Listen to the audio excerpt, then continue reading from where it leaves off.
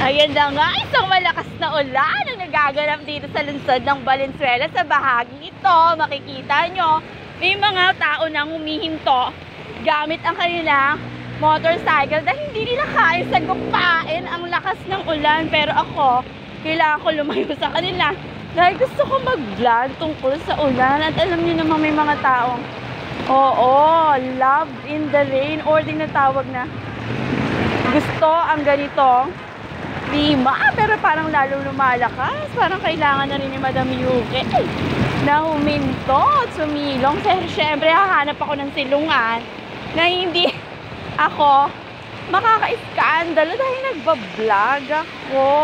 So, ano mga kababayan kong OFW. Sobrang lakas ng ulan ngayon dito. Ah!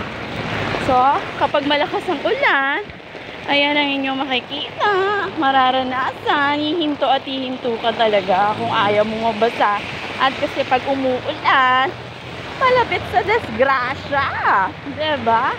So magkukontent sana ako about sa mga billboard, sa politics. Sa ulan ako nauwi. So siguro, hanap tayo ng silungan para magpatuloy ang aking content tungkol sa ulan, love, ang ulan, no? Pluville.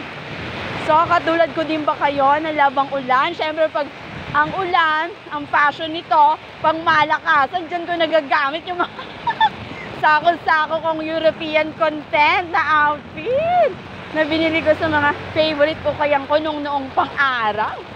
So, ang mga butswangga ay labas na dahil sa mga ganitong eksena. Sisilong lang ako ay, talaga namang bonggang-bongga.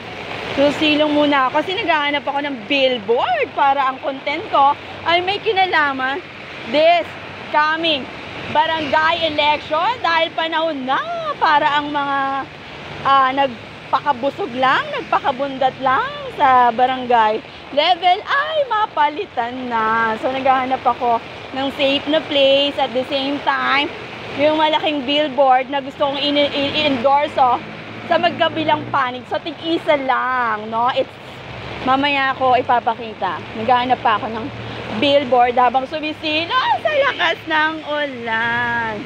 Oo, kapag umuulan, talagang maantala ka. Dahil pag hindi mo kinaya, pwede ka pang madisgrasya. Either madulas ka o may mabasa na importanteng gadgets sa'yo. So, ayan na po. Maya-maya. Kung alam ko sa nakita yung billboard na malaki. So, ito po ang inyong Madam Yuki na lagi nagpapaalala, keep yourself busy to avoid insecurity.